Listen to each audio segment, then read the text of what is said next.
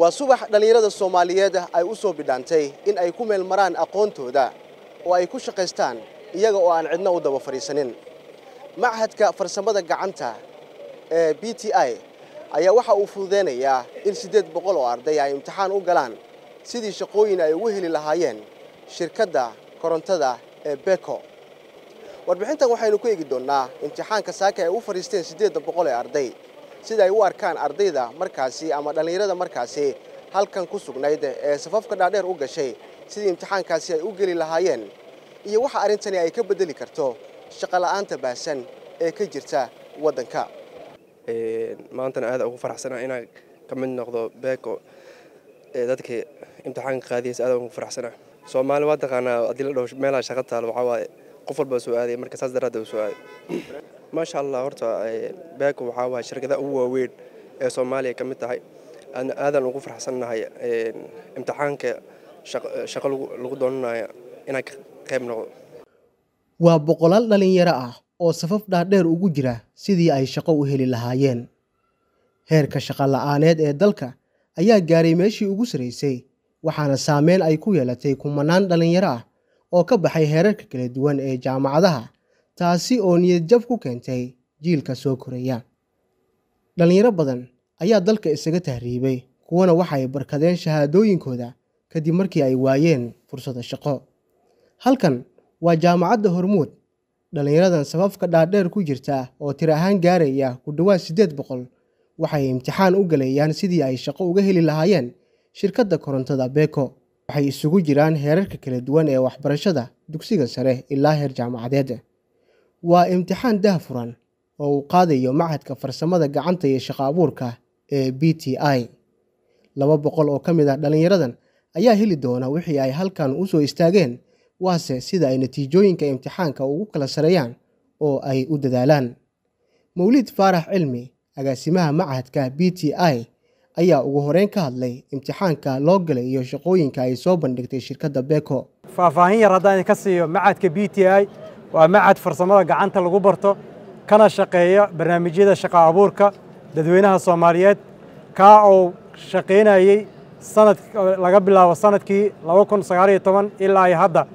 معهد كحو صوصاري تربضاً أو شقا عبور وسميي كدوات معهد كحو شقا عبور وسميي ضد كدو كنقف إنت بضاً بقولكي بزديتاً وحاندي كارنا وحاقاتي شركة بيكو أيضا وفا يسي باهيها يوقبتو شقالها machadka markii uu shaqo abuurka sameynayo wuxuu leeyahay brosijarro kala duwan asagoo sameeya xayiisiin imtixaanaadka asagoo sameeya tababaro xirfadeed asagoo sameeya in dadka shaqada loo abuurayo inuu ku hago shirkaddii markaa loo tababarayo.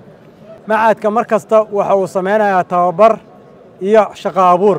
Madaxa qaybta xafiiska xiriirka bulshada ee beko doctor cabdiraxmaan maxamed caadle oo ka hadlay daahfurka imtixaankan ayaa u rajeeyey ardayda in ay muujiyaan dadaalkooda.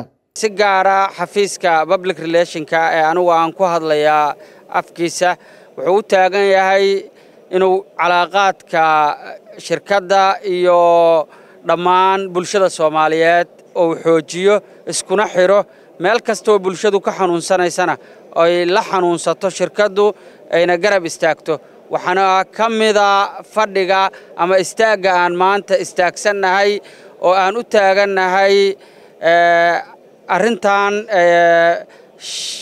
aan iska kaashanayno b t i iyo beko ay iska kaashanayaan.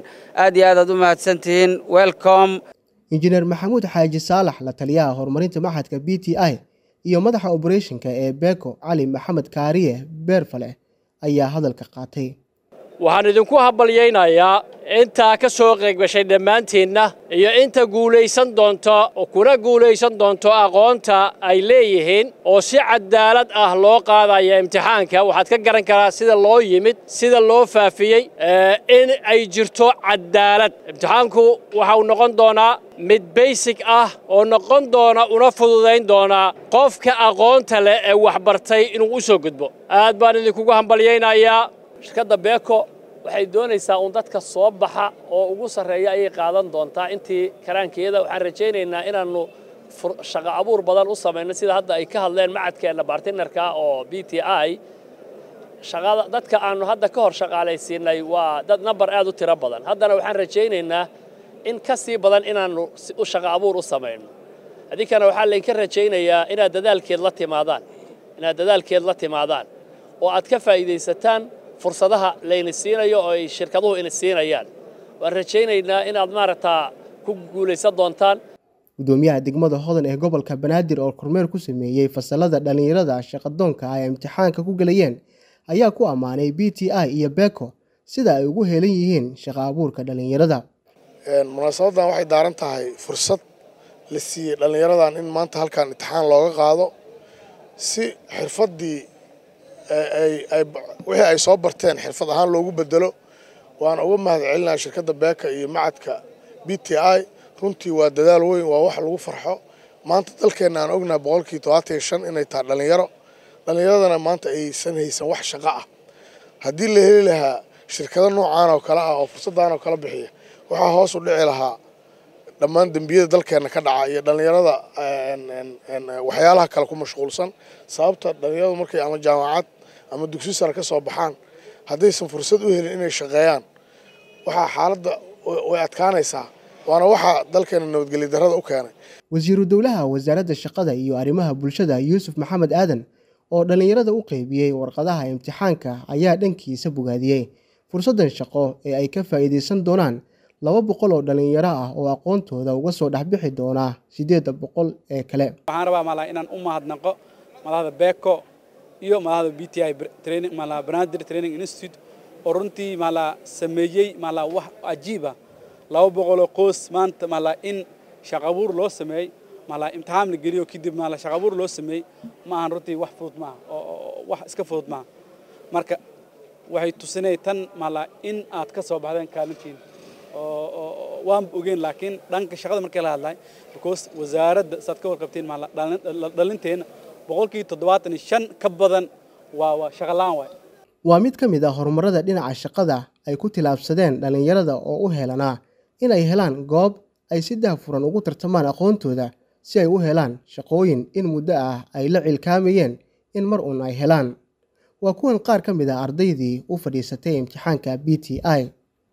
Waxaana joogaa jaamacadda hormuud waxaan diyaar u ahay inaan galo imtixaanka beeko qorsheyga wuxuu yahay horta inaan imtixaankan ilaahay igu guuleeyo.